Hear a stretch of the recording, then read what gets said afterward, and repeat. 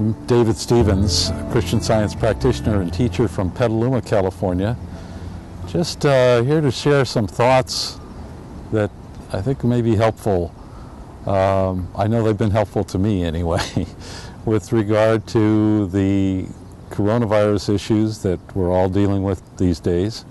I think most of you are either chaplains or members of the prison population. Um, maybe thinking, gosh, we're helpless in the middle of all of this and uh, uh, very much caught up in the details of what to do, what not to do, what seems to be going on out there, and who's, who's doing what. It's pretty easy to do that and forget God. In fact, I haven't heard God spoken about very much at all when I turn on the news. I was glad that the president, I guess, yesterday or the day before came out with a statement and just invited people to pray. Uh, I guess it was Sunday. There's a national day of prayer. And uh, for me, that's, that's the starting point. When I think about God, I'm, I'm thinking about God as infinite good, as all-encompassing power and presence of intelligence and love. And so the question for me is not where's God in all of this? It's where is this in all of God, or in the all that is God?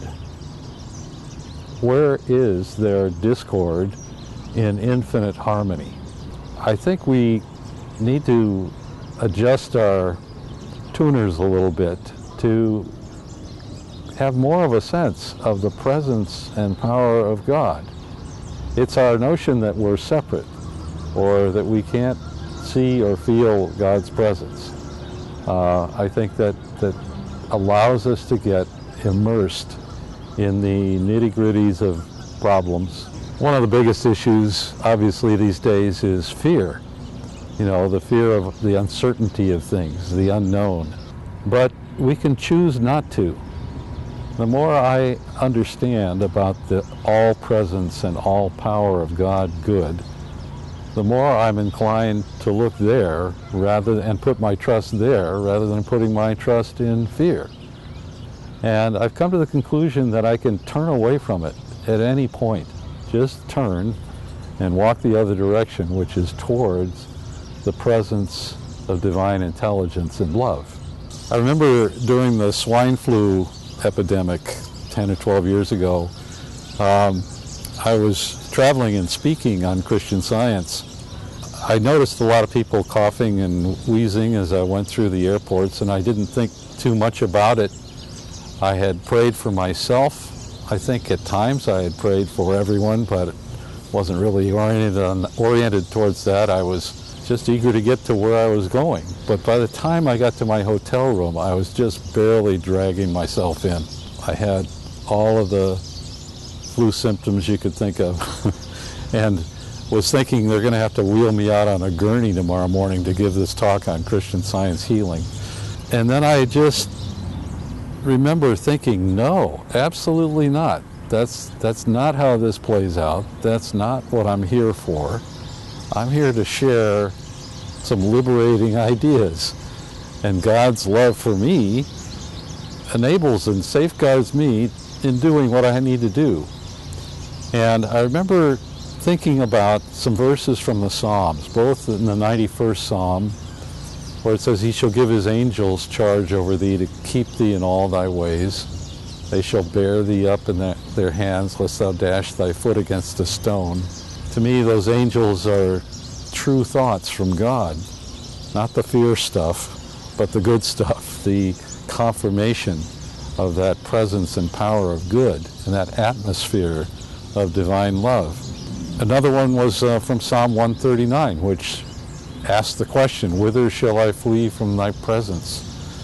If I ascend up into heaven, thou art there. If I make my bed in hell, thou art there. And I realized there wasn't any place I had gone or could go separate from God's presence. And I realized that everybody else was in that presence as well. I began thinking of my of my true identity as a child of God and always under that, always operating within that atmosphere and law of divine love.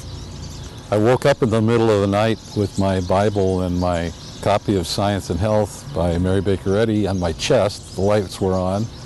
And I realized I felt completely well. This peace came over me and I fell asleep. That was it. And that was the end of the whole thing. I woke up the next morning completely free. Didn't need a gurney to go to give my lecture.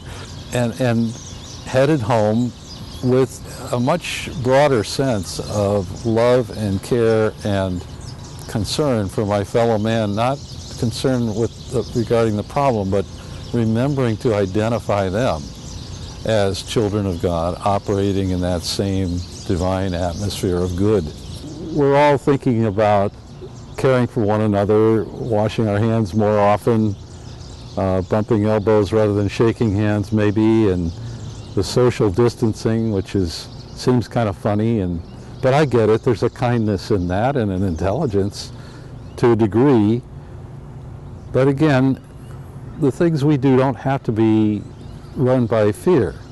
They can be, they can spring from intelligence and love. You know, Jesus was once asked critically by the Pharisees, I think it was, why his disciples didn't wash their hands before they ate. And he took the opportunity to explain to them that it wasn't what comes into the body that defiles us, but what comes out of the heart that defiles us. So it's, to me, it's more a matter of watching thought. Am I really conscious of and operating from a basis of love, uh, from an expectancy of good? We all have within us a capacity of spiritual sense and a built-in capacity as children of God to express those qualities. I was thinking about a line in Science and Health with Key to the Scriptures, which says, outside the material sense of things, all is harmony. That just grabbed my attention.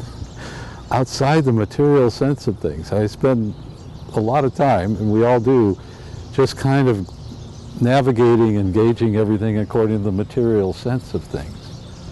But I think it's true that it's that very material sense of things that includes all the problems, the limitations, that robs us of a broader view, which enables us to see and feel God as that divine presence of goodness and love, and enables us to find our own goodness and love. It's really liberating. It brings freedom to us regardless when we step outside the material sense of things. Well, what is that? Is it a vacuum? Is it a big blank? No, it's a spiritual sense of things. That's a term that Mary Baker Eddy uses in her book. And that spiritual sense, I find, is, is natural. It is that sense that allows us to feel the presence of those angels, to hear what God is, is saying to us, the confirmation and affirmation of our safety, our well-being, and the guidance uh, direction for our lives. It's truly liberating, and you have it as much as I do.